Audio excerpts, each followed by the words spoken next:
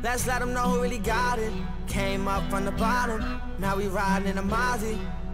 And these Margielas done burnt a hole in my pocket. See me, I'm shining. Yo, what's up, guys? It is your boy Bugz, and today, guys, we got some Nasby 2 news. We finally got a official release date, and it's gonna be November 3rd, and that is in like what eight days. So that's pretty awesome to see. And now we can wishlist it on Steam. Unfortunately, we still can't pre-order it, which is kind of weird. I guess you know later in the date or when the month comes in, it will, as you can see right here.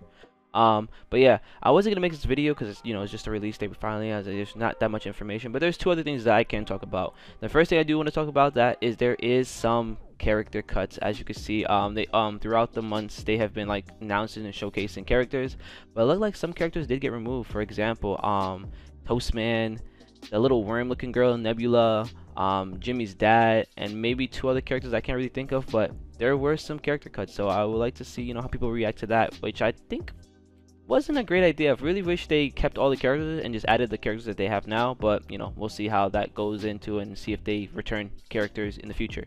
Um, but the major thing that I do want to talk about is the single player game mode that they have, which is a story mode.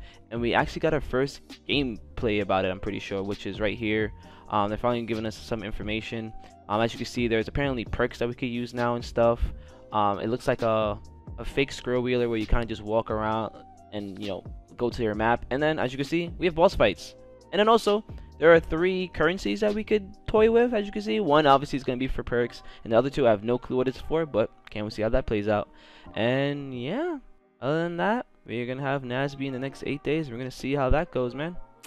See ya next time, guys. Peace. Yeah, she got a man, she don't really give a fuck about. Back home in a whole state. To LA cause she wanna be famous. Got a 9 to 5 on the side, she a waitress. But it's getting tough, hard to find